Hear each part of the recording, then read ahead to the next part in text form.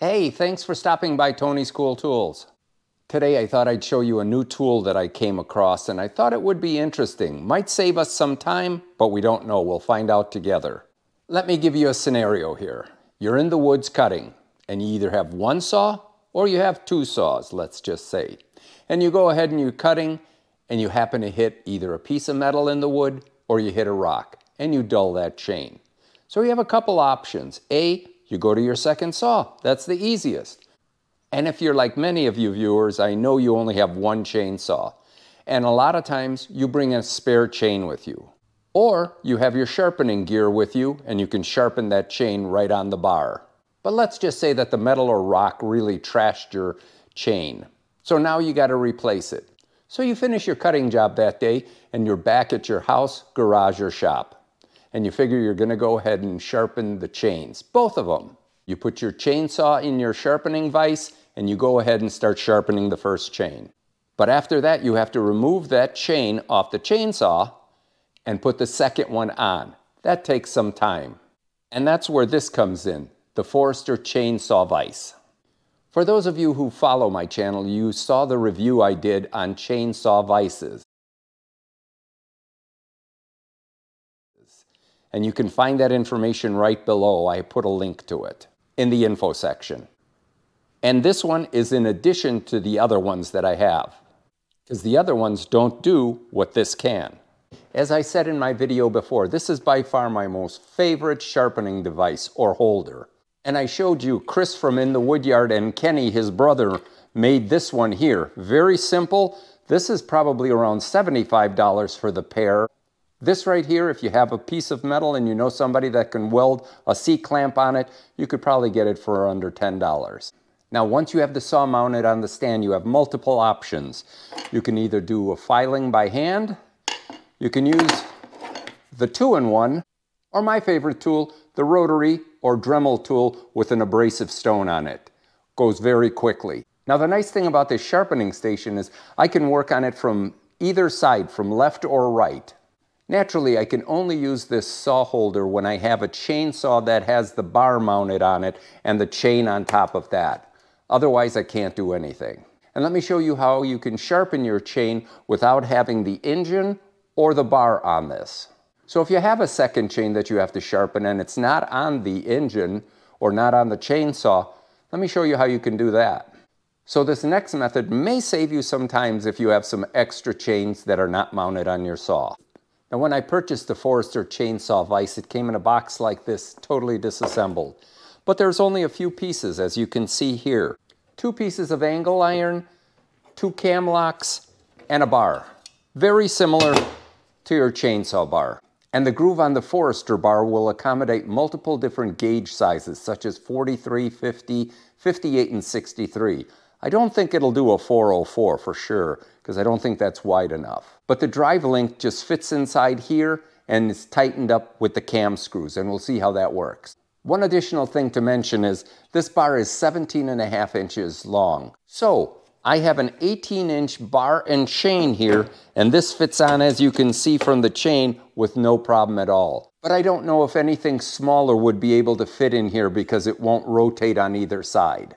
And as far as the cam arm goes, you have one nut to tighten it up, one nut that used as a spacer, and one washer.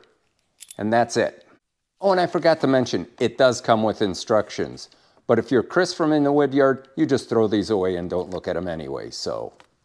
Now, once you have the unit assembled, this is what it should look like. Two cam arms that open up, and as you cam these down, it tightens up the bar groove. Let's see how good it does.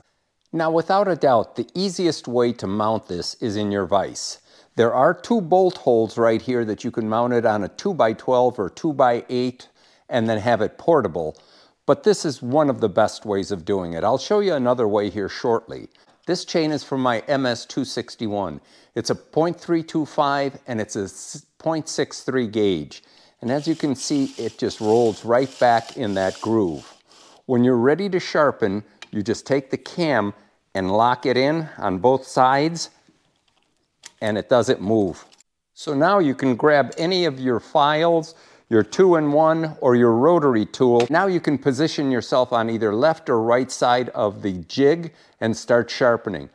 I prefer sharpening all teeth in one direction, one side, and then do the other. Some people can go back and forth. I'm not one of them.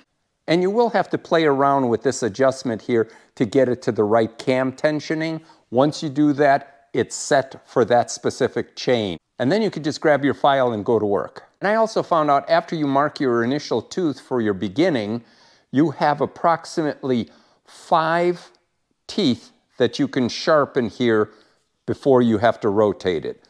And once you rotate it, you loosen this up, grab the tooth that you have, bring it all the way down to almost the turn, and then put this on, and it's locked in. Pretty good. I switch now to a more portable vise, and that is my jaw horse. It works real good, it clamps in real nice, but I also switched to my 25 inch chain, which is 3 8 50 gauge. And I had to make adjustments on the nuts, and what I found is it's not so easy. Every time I'd make an adjustment, it would tighten up and work pretty good like now. And if I move this, I can tighten it up and it's not holding. So I have to keep playing around and retightening it. Sometimes it works and sometimes it doesn't. Now as you can see, it did lock in. Let's try it one more time. Loosen the clamp up, move my chain over, tighten it up, and that works this time. And in my opinion, all you should be able to do is cam this over, lock it in, and now it's loose again. But if I put a lot of pressure on it, it does work. So it does work, but well, I was a little disappointed after testing this saw vise. It works great on a 3.25 63 gauge, but when I switch to the 3 8 50 gauge, it just doesn't tighten up each and every time. It does work, don't get me wrong, it does work, but you gotta play around with it quite a bit. And I did check the Amazon rating, and it only got a 3.6 out of 5. After reading the reviews, many people found the same results that I did and that it would work most of the time, but not all the time. But for a tool like this under $30, I will play around with it a little bit more to see if I can get it to work. And I'm not sponsored by Forester, nor do I get the product for free. I did pay for it, and I bought it on Amazon. Well, as I've said before, I give you my honest and unbiased opinion. Some tools make it, some tools don't. So I hope you found this video informative, and if so, please like, share, and subscribe. Give me a thumbs up as well. And remember, Pass it forward. Make the world a better place. And don't be a tool. Watch Tony's Cool Tool. Until I see you next time, have a great day.